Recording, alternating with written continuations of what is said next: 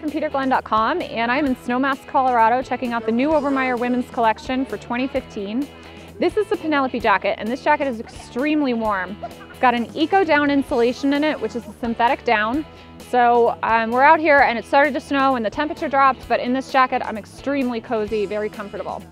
This jacket is also waterproof, it's 15K waterproof. A lot of these longer down style jackets are only water repellent, but this one is actually fully waterproof, so you can wear this in all kinds of conditions. You're gonna stay nice and dry.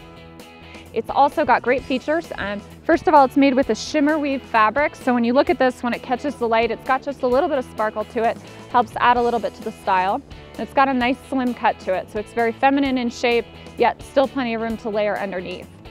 This jacket has a two-way front zipper and it also has a wind flap here that you snap over top so cold gusts of air don't come inside. There's a hood on it and the hood is trimmed in faux fur.